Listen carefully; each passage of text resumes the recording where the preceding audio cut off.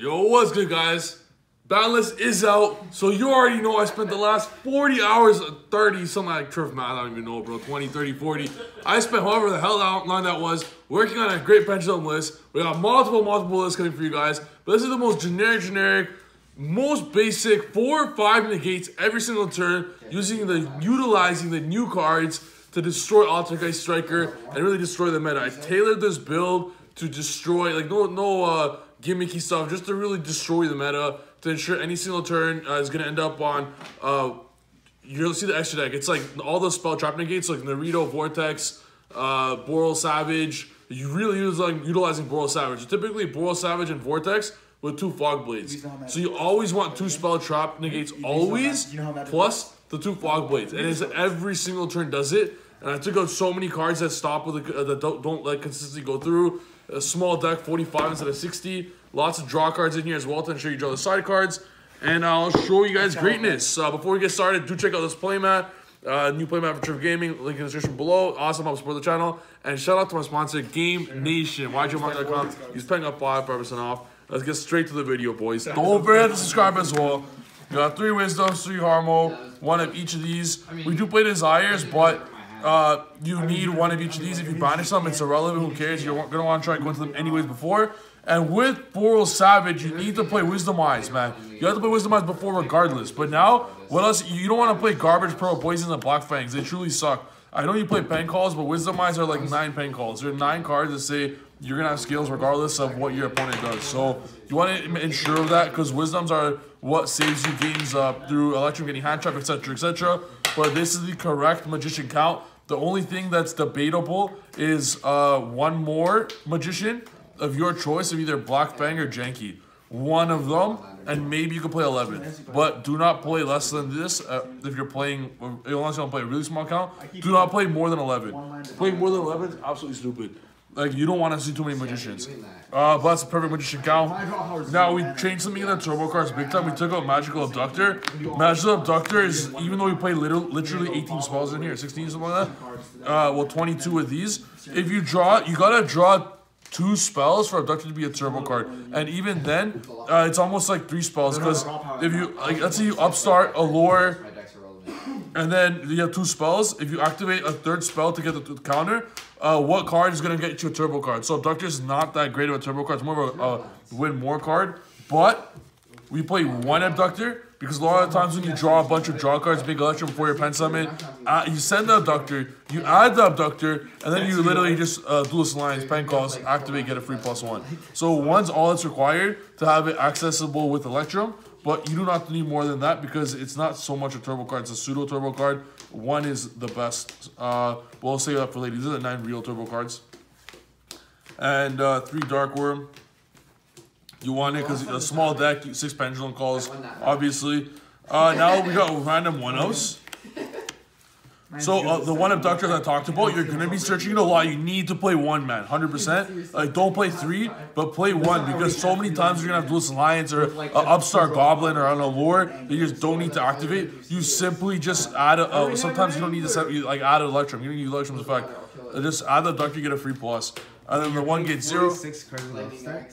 Oh, sorry, I should take out Upstart. With 45, but I get Allure because a Allure like you go through two cards, right? So it's way better than that. But uh one of each of these mythical beasts. Basilisk is nice because it gives Cerberus the option of being either a Jackal or Upstart Goblin. And when after you side deck, and if I'll show you guys the side deck, what really separates this deck uh, compared to the past decks I made is the side deck obliterates the meta. And I know people say, oh, my side deck wins, I side 3 Twin Twister. But the Twister doesn't actually do anything, it just pops two of their four back row, right? But the back row, the back row hate that's in here are cards like Reboot, Denko, Danko, Atrunade. Cards that if you activate against Striker or against Altergeist, you auto win. And because you play three Desires, three Allure, and four Upstart Goblins and Cerberus and Basilisk, you're always going to be drawing it. So you play six of each, you know, like there's six cards that are auto wins if you draw. Uh, so that's why you need to play the Basilisk, to ensure you draw it, right? And the one Jackal. And a cool thing with Basilisk is if you were to draw one Cerberus, one Jackal, one Cerberus, one Basilisk, you'll use Cerberus to search the other, and then you'll uh, activate Basilisk to put Cerberus back, draw one, then Jackal to special the Basilisk, and then if you activate one spell card, you get back the Jackal to your hand, because you'll play two, uh, two scales, three counters, and you get a free plus one from it. So Basilisk is actually a fantastic card. helps you see side cards, and uh, gives you a free plus one. And uh, if you banish it with desires, who cares? Because if you have ten upstart goblins, you want to ensure you see the side cards. Because going going first, you put up four negates easily, like absolutely easily. And uh, we don't play Mermere Destrudo because just sometimes they brick you. There's no reason for them to be honest. And uh, this going second, you just draw those side cards because you you draw into it. You don't have to draw it in your opening five. You draw into it as you go, right? There's so many draw cards. You draw into it as you go, and you draw one of them, you auto win. So next, we do play one Boots double Fog Blade. If we were to draw one of these engine, we abandon the Rusty engine and just keep that one trap. So if we draw one of these three in the opening, let's say you desire is banish one of these, it's totally fine. Uh, you just abandon the engine afterwards. You have so many engines in here that if you banish or whatever, you banish something, who cares? You just go a different route. Drawing two is too nice not to play, unless you play like literally 15 one-ups that are absolutely necessary. But uh, like, I, like I said, if you draw one boots, you simply pen summon it, and uh, only one abductor, everything else is scale two or lower. So you just pen summon it and then link it away and get the free fog blade. If you draw a fog blade, you get a free fog blade, and don't go for rusty after afterwards. And you just go for different negates. So you still go for negates regardless. If you draw this, it just even makes your play a little easier. So it doesn't break. Uh, one foolish, three shrine. Uh, 45 is fine, good ratio. But in 40, I would suggest maybe cut one out. And then uh, three pen call, three Duelist Alliances. Even with the wisdom eye, it doesn't matter. You always want to see pendulums. Uh, you want magicians in there all, all the time. And with uh, uh, Sky Strikers, Altergeist going at rampant, you want to have access to pen call, especially Altergeist. Uh, pen call to get Dragon Pit to ensure you pop the rivalry or whatever they're gonna have. So having pen call is absolutely necessary. And six is like beautiful. I would never play less than that. It's just such a great card. Sometimes you do, let's say you draw three of them sometimes. That's totally fine. Because if you end up with a turbo card, you still end up on four negates, even if you have two dead cards in your hand. And then three Allure and three Desires. Uh, it's a 45 card deck, but these draw two. Uh, I know you banish one, but it says draw two, and you're gonna draw your, your side cards going second, and uh, it's extremely important to draw your side cards. Like you're gonna see, I'm gonna go straight to the siding before I go extra deck. Like it's the huge part of the deck. This is why I truly think pendulums are the best deck this format because if you face Altergeist, you face Altergeist, you go triple Denko, triple reboot, draw one of them in your 10 upstart deck with allures and, up, and desires almost kind of double upstarts because you draw two cards. I know you banish a bunch, you uh, banish card anyhow, whatever, but it kind of kind of double upstarts because it's kind of like you're, you're playing with, with uh, six, uh, six, that's 12 cards gone, four upstarts, and 16 cards, so 45 a 29 card deck. So you play a 29 card deck and you're you're gonna assign six of these, and if you draw multiple, you just discard a pen call. So it's too nice and it's just a free auto win. Then against Sky Strikers, you simply take out the reboots and play Trunades. So it's the exact same thing. And then going second, you draw one of these six in your 29 card deck, uh, and then you win. If you draw multiple, you pen, discard a pen call. You pen five, you win. You just oh, like electrum one electrum equals Boral Sword. So it's such an easy way to win. And if you can't uh, OTK through one hand trap, you're, you're just playing the deck completely wrong. And these obliterate everything right now going second. With all those draw cards, draw some of these, you win. Draw one. And now against the other relevant decks is a Pendulum and, and uh, Thunder Dragon. Thunder Dragons are not going to be playing uh, with Dangers anymore because the whole point of Dangers was Snow. But now without that, they're just going to be playing double Colossus if they're lucky and maybe a third Titan, Summon Sork, etc., etc. Then you simply drop these bad boys on them and they literally can't do anything. You just like OTK or set up a board and then they can't do anything. No more hand traps, eh? No more hand traps. After drawing four against Tayfun, I was like, hand traps are garbage. You're absolutely shit. I hate hand traps with a passion. Veilers garbage. And no, you could draw four Veilers by signing ten cards because you need to see them. You need to see the to see them, right? Or or or you could uh, put cards like these where you have an option to draw into it. So you have the sixth card to draw into. You have draw cards to draw them. Electrum draw. Like you have so many draws that you're uh, gonna end up drawing one of these auto win cards. And these are auto win cards. They're not a Veiler that stops a little thing. These are all like win you the game uh, uh in the certain matchup that you signed them for. And then like True Draco, which might be a thing now as well. You still got reboots, Denkos, Trunades. Like they, this overall thing just obliterates everything. I think this is the best side deck. I think it's a side deck that most people are gonna play anyways, regardless of what deck you play.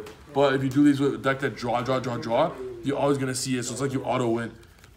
And it's even budget for you budget players, right? Like this deck's super budget right now still. Even you don't even need to play the mythical beast. Like, you don't even need to play the mythical beast. If you think Jackal is expensive, you could take it out. Like mythical beasts are not even necessary. Uh, they're just there for fun. Like they're not that great. to be honest, or whatever. Next, Electrum Underclock Rusty. You still go Boral Savage, Vortex, and Double Fog Blade, multiple cards in hand, and call it a day. So you still need to play this engine. We don't play Yazi, but these are just the generic best utility cards in there, especially with uh, this, it being a control format, which is so good for Pendulum, because Pendulum are by far the best combo deck this format. So uh, it's the only deck that actually does stuff.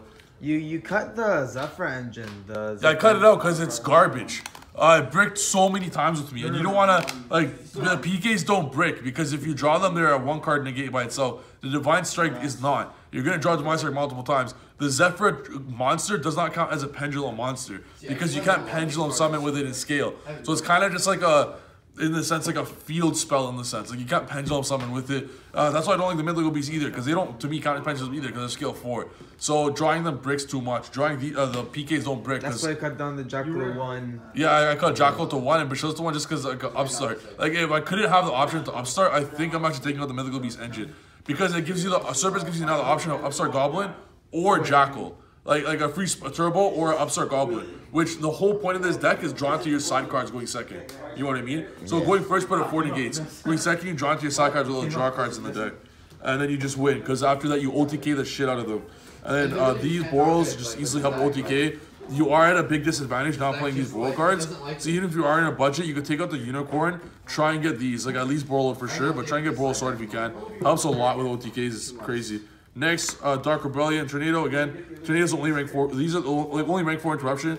You don't need Dweller. Like, what are you gonna play Dweller for? Uh, this extra deck isn't super tight, but there's no reason for Dweller. And Dark Rebellion helps so much with OTKs, and never, don't forget what, what it does with Rusty. So uh, they just overall, this should be every single Pendulum player's extra deck right now so far.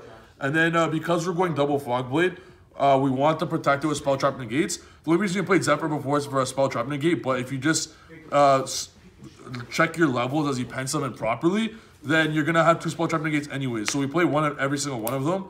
And now this is a proxy just because I don't have it yet. Boral Savage. So this is Boral Savage, or just was Void Ogre. We're gonna take that out. This is Boral Savage. So now you're gonna have Nobody pulled it today. yeah, no one pulled it. It was insane. And the people that did just dipped ASAP. So uh, rank 6, rank 7, Synchro 8, Synchro 8. So syn- Synchro 7, Synchro 8, my bad. So rank 6, rank 7, Synchro 7, Synchro 8. So you're always to have two of these plus the two fog blade. If you're playing a deck like Altergeist, is- or er, yeah, Altergeist, you might want to substitute one of these with Tornado Dragon. But Tornado Dragon's so nice in this format because there's so many back row decks that you can't just take it out. And you always end up on two fog blade and two of these. This is being Boral Savage. And then lastly, I, I was left with one extra slot, and I was debating putting Mare Mare in the deck, but there's really no need for it whatsoever. So for this, I just put the generic utility card, with, with now the deck having a big emphasis on going into harmonizing to ensure you get most use out of Boral Savage. We put Ignister back in, just because you always go, you have, you always try and go into Boral Savage, so you always have access to the harmonizing. So many pain calls, Oath Dragon always in scale to add back to harmonizing. So for next turn, it's just a fantastic card just to help OTK even more. So that is the deck. Um, now I'm gonna in a different video show you guys like the combos with it. But Boral Savage uh, is a whole other ball game now because harmonizing equals Boral Savage which to negate anything. So now you end up with Vortex and Savage and double Fog Blade. So that's an auto win against 99% of decks. You need to open the absolute stones to get over that, and they still won't. And then you just OTK in the next turn. And this, the, with the side deck as well, going first or going second, is an absolute obliteration. Like even if let's say you lose a die roll, let's say you lose a die roll against Altergeist, they go Secret Village, whatever, you lose. Game two goes around, you go first, four negates, they can't play. Even through hand traps, four negates, and they still can't play. Game three comes around, you side in the reboots, the Denkos, and you draw into it because you're playing 10 cards as they draw, and then when they activate spoofing, you reboot them, and you simply just OTK. And it's the same for uh, strikers with Hate Trunade and Denkos. Uh, same thing for Pendulum with Triple Sphere, Triple Lava Golem. Same with Thunder Dragon, Triple Sphere, Triple Lava Golem. You just keep drawing into these type of cards and auto win. You don't just go one Veiler and or two Veiler and doesn't even stop their turn. Cards auto win. So that is the profile, guys. Hope you enjoy it. Stay tuned for the uh, combo tutorial, which we'll be showing soon. I'll see you guys in the next video. Don't forget to subscribe. Peace.